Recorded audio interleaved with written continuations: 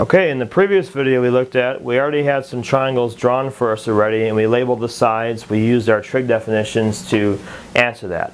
These kind of problems you are going to be doing the same thing. You do want to look for a triangle. However, this problem is different because it doesn't have the triangle drawn for you ready.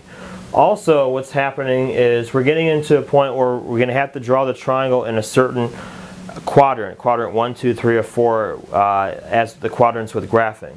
So because of that, we have to use this information and decide where the triangle is going to be drawn at. Now it's really important to tell which quadrant it is in because once we have that quadrant complete, that has certain sides are positive and certain sides are going to be negative. So it's really important that we figure out which quadrant it's in first before we draw the triangle. Here's the information that was provided for us.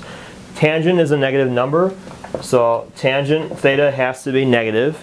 And also sine theta has to be less than 0, which means that sine is also going to have to be negative. So I want to find the quadrant where tangent is negative and sine is negative. And then once I, I find out which quadrant that is, then I'm going to go ahead and draw the triangle in one of those quadrants and then I can get this eventually once I have all the sides of the triangle complete. I want to find the quadrant where tangent is negative and sine is negative. We're going to use all students take calculus to find out which quadrant this belongs into. So when I go around and use that, all means everything's positive in the first quadrant, not the right one in our case here.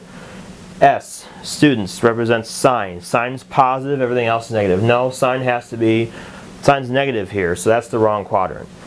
Uh, take, down here means tangent's positive, everything else is negative. Well, tangent's got to be negative, so that's not the right quadrant either. Then this one, cosine would be positive. Co uh, calculus represents cosine. Everything else is negative, which means that's the correct one. So I know that I got to draw the triangle in the fourth quadrant based on my sign rules that I just talked about.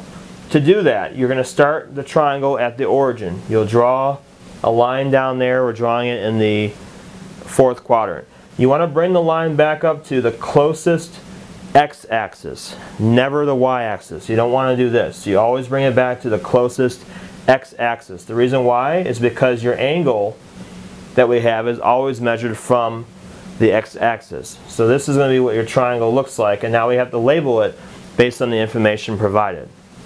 So the information provided here, we're going to use our definition for tangent. Tangent is the same thing as opposite over adjacent. So that means that opposite is this side right here. It's across from our angle. And adjacent is 4. Now typically you'll see these problems written with the minus sign out front like this. So when you see a problem written that way, you have to decide whether the 3 has a negative sign or 4 has a negative sign.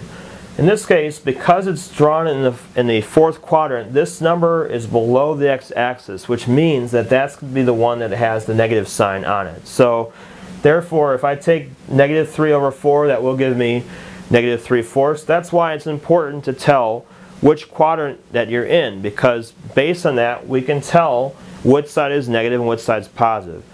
Hypotenuse, however, is always going to be positive regardless of which quadrant you're in. So it doesn't matter which of these four quadrants you're in, hypotenuse always is going to be positive. Now I can recognize that this is going to be a 3, 4, 5 triangle, so I could find out that this side would be 5, or I could use Pythagorean theorem. Negative 3 squared plus 4 squared would be 25. Square root of that would give you 5. So either way, you're going to get a, a 5 uh, for your missing side by using a 3, 4, 5 triangle, or again, Pythagorean theorem. I have all three sides complete now. I'm ready to use my definitions to answer that. When looking at this, I look first of all at sine. Sine is opposite, so again it's across the triangle or opposite from my theta, that's negative 3 over hypotenuse which is going to be 5. So negative 3 fifths is going to be my sine. I'm going to flip it and I get negative 5 thirds reciprocal, that would be my cosecant. Next one I want to find cosine. Cosine is the adjacent over hypotenuse. This side would be my adjacent side over a hypotenuse here. So 4 fifths would be cosine 5 fourths is your secant. The last one I want to do is cotangent. Now cotangent would be the reciprocal of the original problem that was given to us. So the reciprocal of, of tangent is going to be cotangent, so this will be negative 4 thirds. And then that would be the answer for this one. So again, uh, this information they give you, sometimes instead of giving you this, they may actually tell you right away uh, which quadrant it's actually in. We'll look at a couple examples like that. But for the ones that don't tell you which quadrant it's in, this is kind of how you have to look at it. You want to uh, look at the signs for both of those and from that determine by all students take calculus which quadrant it's in. That's the most important thing when you're setting these problems up.